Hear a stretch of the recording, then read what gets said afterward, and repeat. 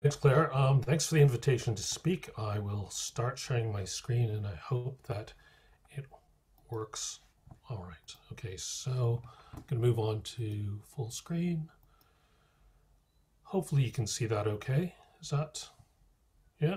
Okay. Yeah, that's fine. Thank you. Um, so I'm actually going to echo a lot of the things across the various talks you've already seen. I hope that's a, a good thing. I'm going to be presenting the work of a lot of other different people.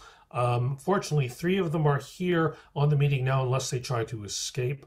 Um, so they'll be answer, able to answer some of the more technical questions because they're the ones who really know it. Okay, so I'm going to go through a series of different points, trying to cover the various areas which um, this meeting is supposed to be about. Where did we start off? Where did we learn? Where are we going next? That that kind of thing.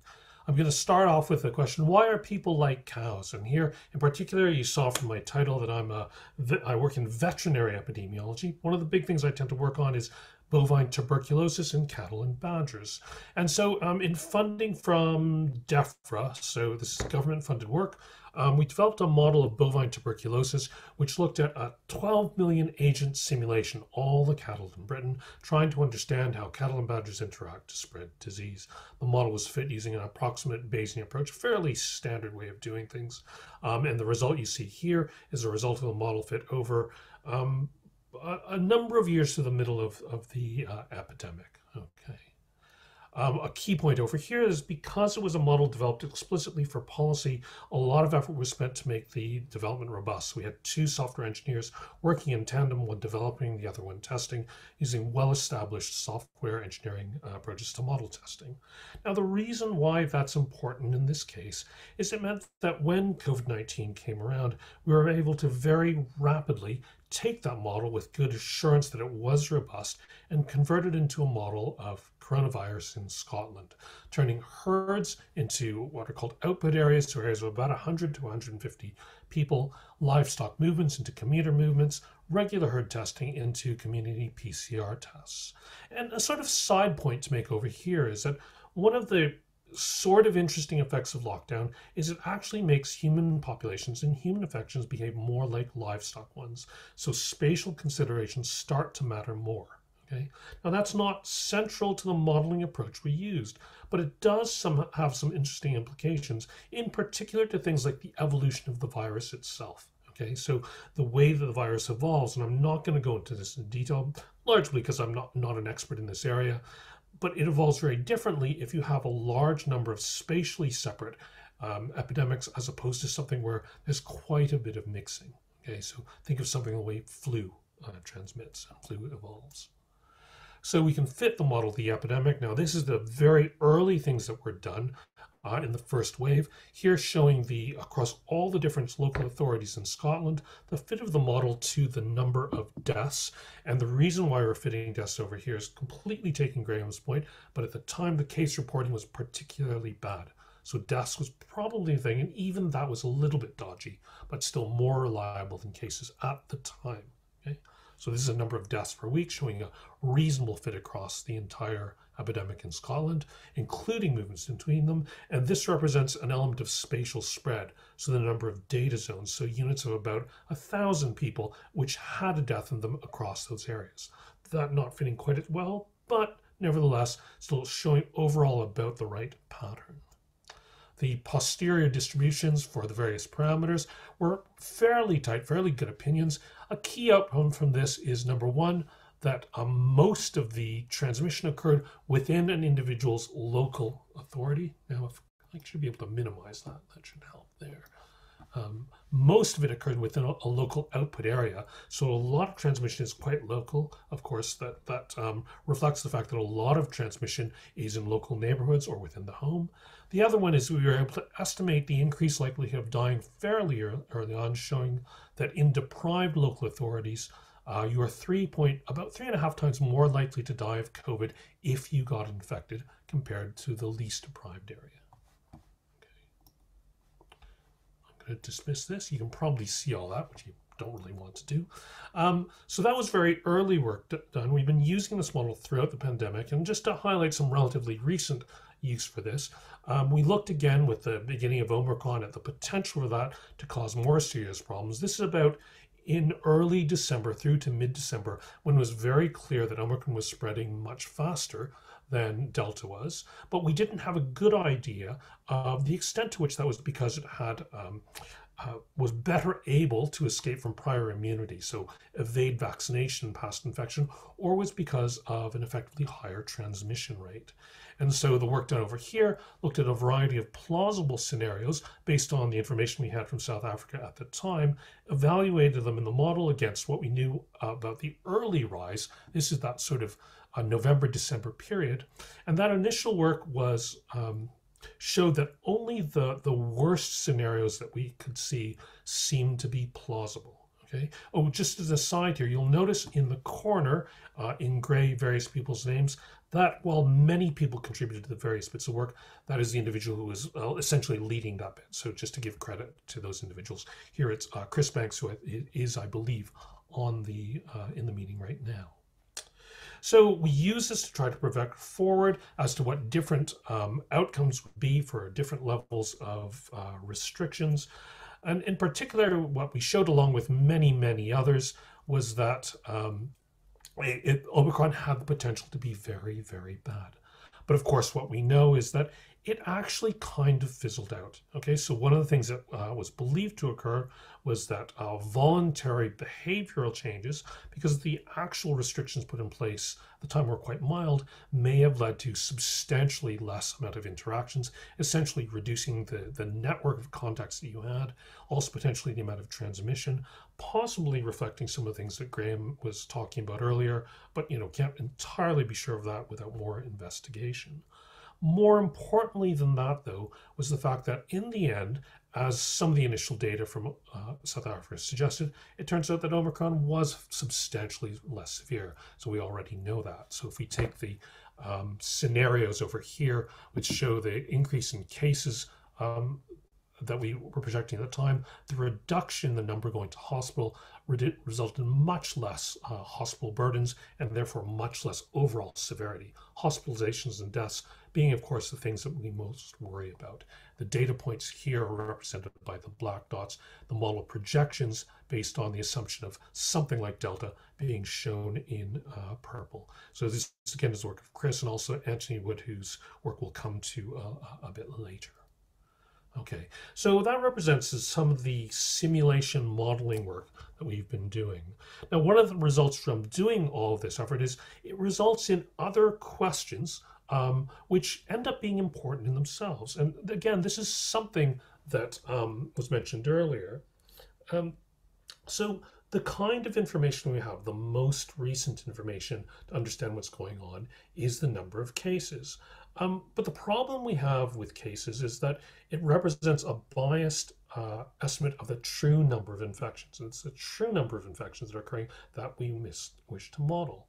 And in order to try to understand the relationship between what we call uh, the case ascertainment ratios, so the relationship between observed cases, the ones that are reported, and the actual number of infections, what we did is looked at two key data streams. First of all, the, the ONS surveillance uh, which looks at the overall prevalence of disease, and then the community testing, which represents essentially mainly people with symptomatic results, but also also some others.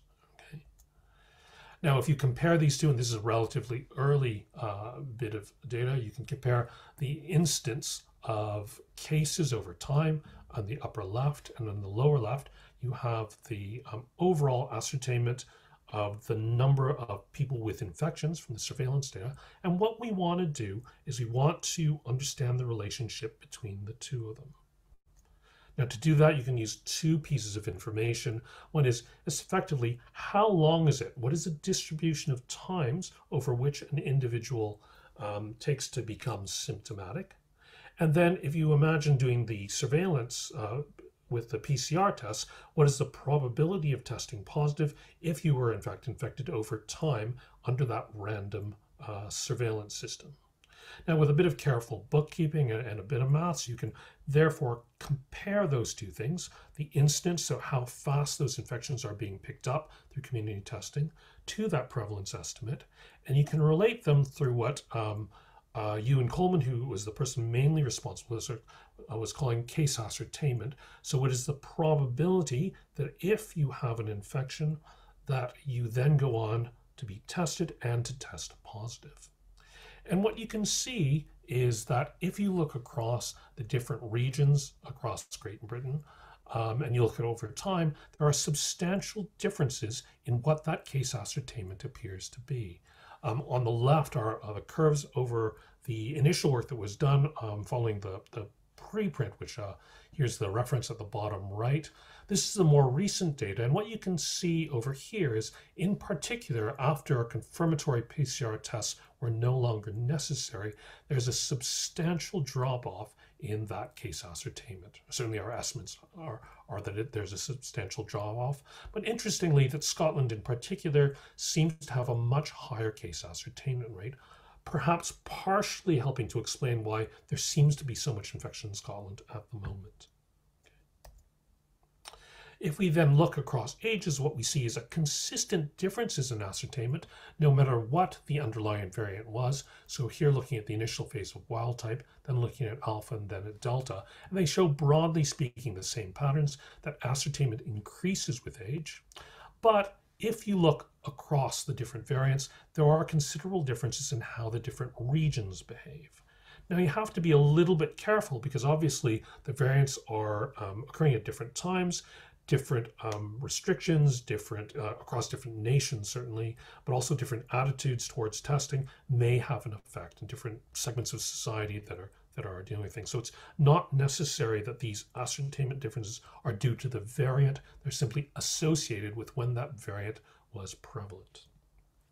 So here we see one way in which looking at things regionally really does matter. Another way of looking at is to look at the estimates of the R number. So this in particular is looking at over the um, period of Omicron dominance. And here comparing the R number that you see for ones that in the PCR test you would call SG negative. So this is indicative of the first Omicron variant. Otherwise, S gene positive, initially indicative of probably the Delta variant, later on probably the second uh, BA2 lineage of the Omicron variant, which has become more dominant recently. And what you see here are estimates across some example local authorities in Scotland.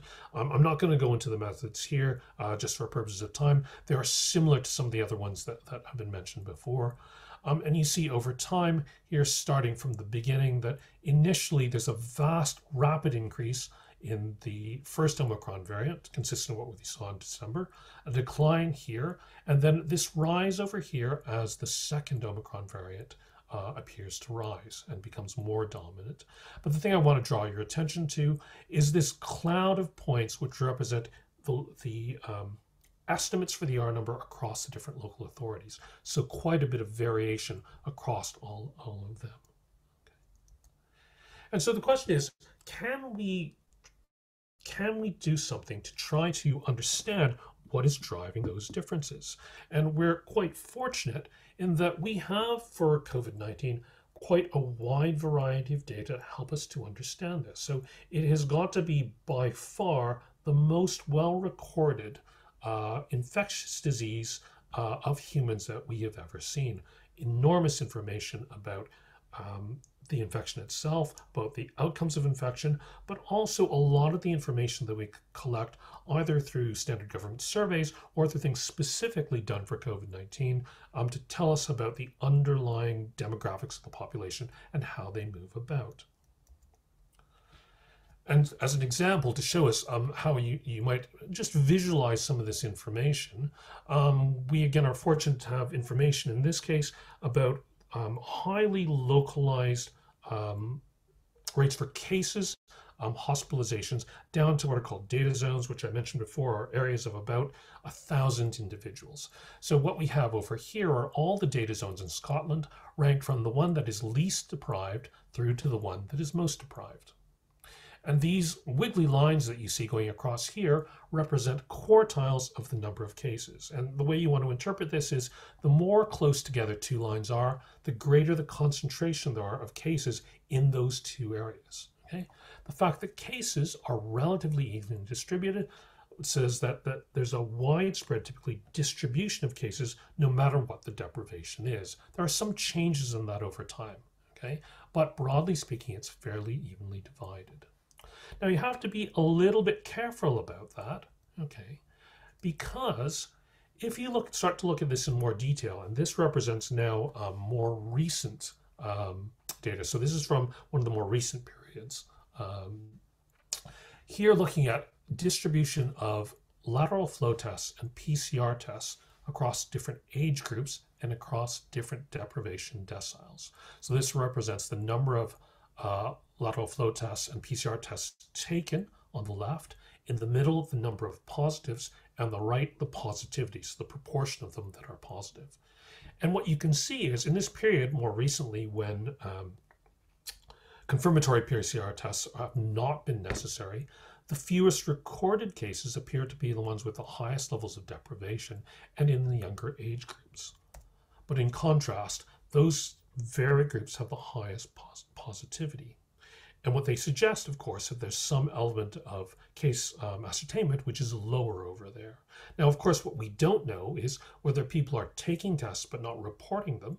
And we certainly have speculated on things like whether or not, if you're having to take tests regularly for work, which might be occurring, if you're in a job where physical distancing is relatively difficult to do, and so you're required to do it all the time, you may be less inclined to report every single test than if you're just doing it um, for purposes of you know going out to visit family or something like that. We don't actually know what the answer is, um, but understanding the difference between those two things are people testing and not reporting if it's negative, or people not testing actually is really important. Be that as it may, if you look at more severe outcomes, which we would expect to be more regularly reported, what you see is quite a different pattern ignoring the uh, data at the very end when there's um, almost certainly some missing data, what you see is an increasing concentration of more severe outcomes to the more deprived data zones. Okay, so evidence that there are quite substantial differences in the way you need to look at uh, those more severe outcomes. And again, whether they are simply that that it's um, a lack of information about the cases or that things have uh, more severe outcomes if you're in those more deprived areas. We don't know the level to which those two types of explanations may be important. Okay. Um, now, with that kind of detailed data, we can also look at things spatially. And here, just looking at, for example, the uptake of vaccination across data zones, what you can see, and this is a point about in mid-November, before Omicron had taken off and um, when boosters were being rolled out is a substantial difference in the uptake of vaccination across the different data zones in Scotland. These enormous data zones, of course, are in the Highland where the number of people are relatively low, much smaller data zones in Edinburgh, but very distinct patterns. Over here, uh, this area uh, in the central area of Edinburgh with obviously lower uh, amount of uh, uptake, here in the rural areas, the same kind of thing. And what we want to do is we want to try to understand what is driving those differences. Okay? So we, what we, our aim in this case is to try to use all those bits of data that we have to say what is it that represents the different characters of these zones.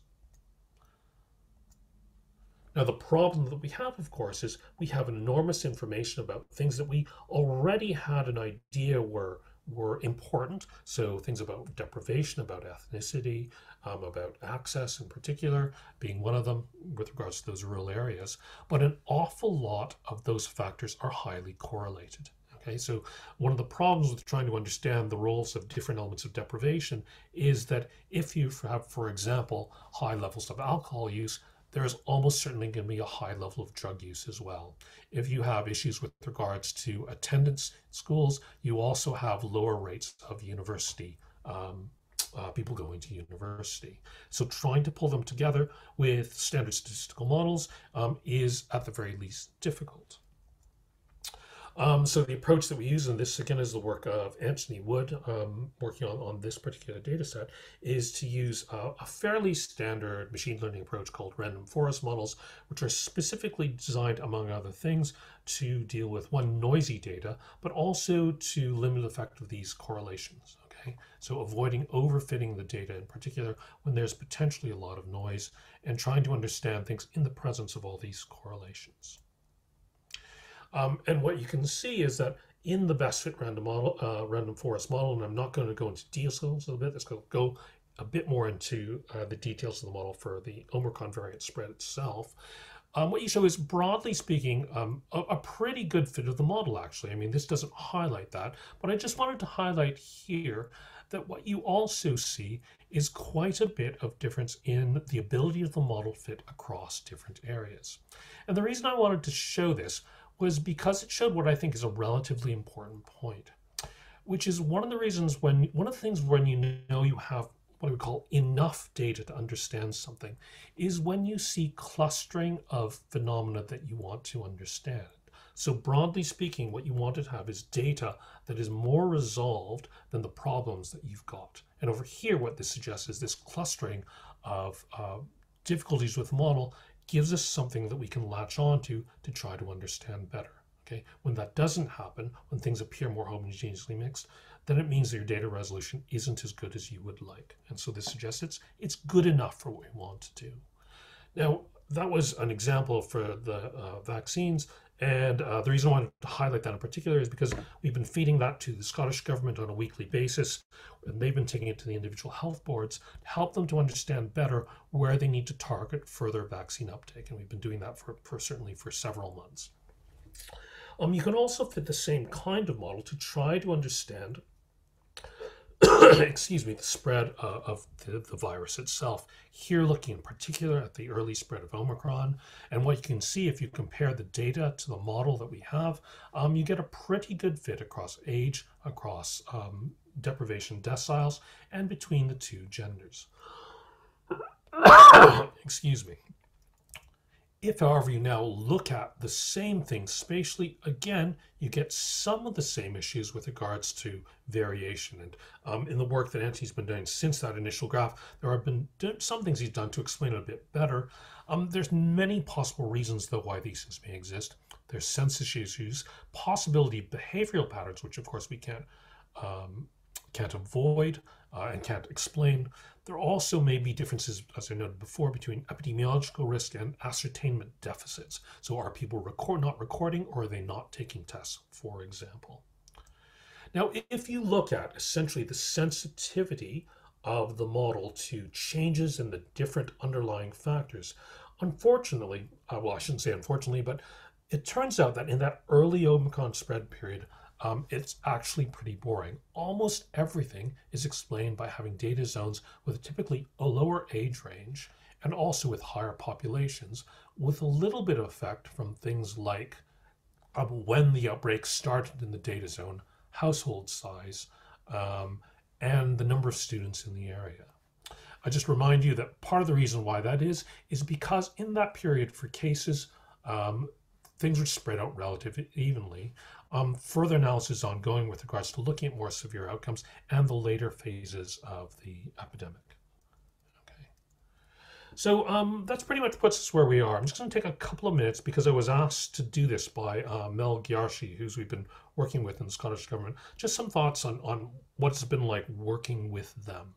Okay, um, I wanted to put this in about the media. So like many, many others, I've been spending a reasonable amount of time trying to do a bit of public engagement. Um, and I'm one among many, and there's many others who are much more prominent than I, I have been in doing this. Um, I got started in it because I wanted to do something to help when in fact we weren't modeling uh, things.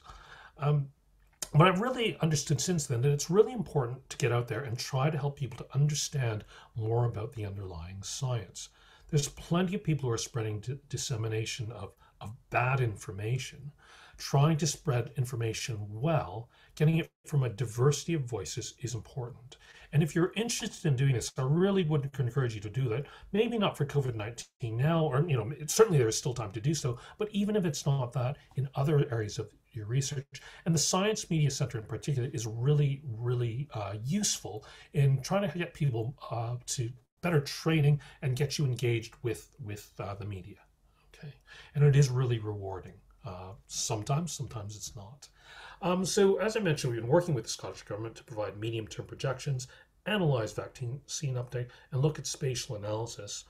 Um, I'm also going to mention that I've been involved with SPI-M, so the, the modeling uh, group that advises SAGE, who meet regularly. And I'm going to mention this because um, I have a slightly unique perspective, and I came to it relatively late and was able to see just how much work was being done. So we've contributed a little bit, others have contributed much, much more.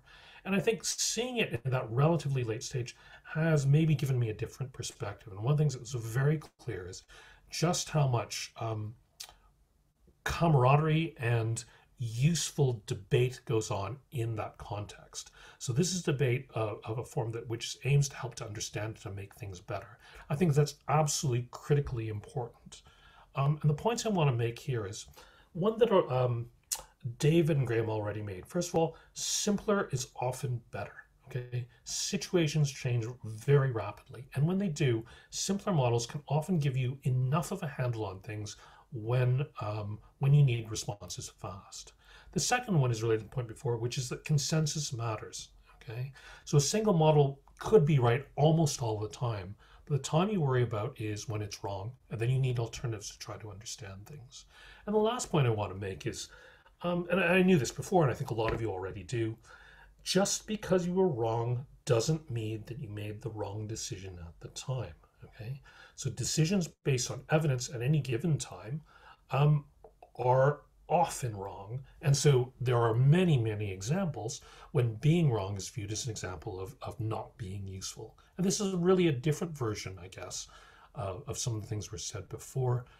You know, it's not that important that you're right. It's important that you understand the data and the situation you have at the time to help decisions. Um, some key questions for the future. Um, one of the things I'm really interested in is is the reinfection rate because this is going to be absolutely crucial as we go forward because so much of the population has already been infected with COVID, um, and how that reinfection rate changes depending on vaccination past immunity will go a long way to determine what future waves may look like. Okay. It's related to the question of how different strains compete in space and time. You've already seen some things on this. Um, a critical thing is what drives variant emergence and whether or not that's going to change as we move farther away from not just here but elsewhere being under conditions of lockdown as things start moving around in space more like things like flu. Um, really important to know what's going to happen in normal winter. And I'm also interested in this last question, which is consensus modeling is a very interesting thing in and out of itself. And I think there could be a lot done more in that area. Uh, I'm just going to mention very briefly, um, have a job open for anybody who's interested in putting together some of these modeling approaches together with viral sequence data. Uh, the closing date is April 4th, so please do pass it around to others. And the last slide, of course, is acknowledgements. All the people who've contributed to this, the one with the stars doing the most work contributing to this direct talk, but a lot of work and a lot of advice from others. And of course, the funders are in the bottom left. And uh, yeah, that's me. Thank you very much. Thank you very much, Rowland. That was really, uh, really interesting and, and slightly well different perspectives to to some of the other talks. I was just thinking it's um interesting to see the route that everybody that's spoken today, the different routes that they've come from to be developing the models. So yeah, really interesting. Um, there were a couple of questions in the chat, but I think um, Ewan um, has responded, your colleague Ewan has responded to those. So I believe those have been answered, um, posted some further details. Um, so thank you for raising those questions. Um, if anybody else has got a question, then please do post it. Um, if not, then um, we will be uh, reconvening tomorrow and I'm, I'm not sure which of the speakers will be able to be with us tomorrow, but there will be another chance to uh, to send questions on. And again, if you happen to think of something after the event um, and you want us, well, you've probably got everybody's contact details, but we can obviously facilitate sharing any questions with the, with the speakers if you, if you aren't aware of their details. Um, so I think um, that's all, all for now. Just to thank all of the speakers very much for joining us and, and obviously all of the attendees um, to say that we'll reconvene at 13.30 uh, tomorrow. We'll we'll open the Zoom room at sort of 25 past one, 25, yeah, 13.25. Um, and we've got a different set of talks tomorrow. So thank you very much. And uh, we'll look forward to seeing you again tomorrow. Thanks, Claire.